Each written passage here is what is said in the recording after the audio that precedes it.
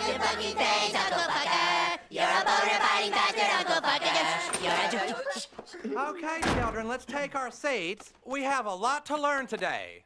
We sure do, Mr. Hat. Okay, children, let's start the day with a few new math problems. What is 5 times 2? Come on, children, don't be shy. Just give it your best shot. Yes, Clyde. 12? Okay, now let's try to get an answer from someone who's not a complete retard. Anyone? Come on, don't be shy. I think I know the answer, Mr. Garrison. Shut up, fat boy. Hey, don't call me fat, you fucking Jew! Eric, did you just say the F word? Jew? No, he's talking about fuck. You can't say fuck in school, you fucking fat ass. Kyle! Why the fuck not? Eric! Dude, you just said fuck again. Stanley! Who? Kenny! What's the big deal? It doesn't hurt anybody. Fuck, fuckity, fuck, fuck, fuck. How would you like to go see the school counselor? How would you like to suck my balls? What did you say? Uh, I- I'm sorry, I'm sorry. Actually, what I said was. How would you like to suck my balls, Mr. Garrison?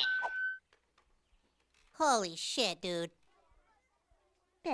Well, I must say I'm very disappointed in you boys, okay? You should be ashamed of yourselves. Now, I've already called in your mothers, You but... called my mom?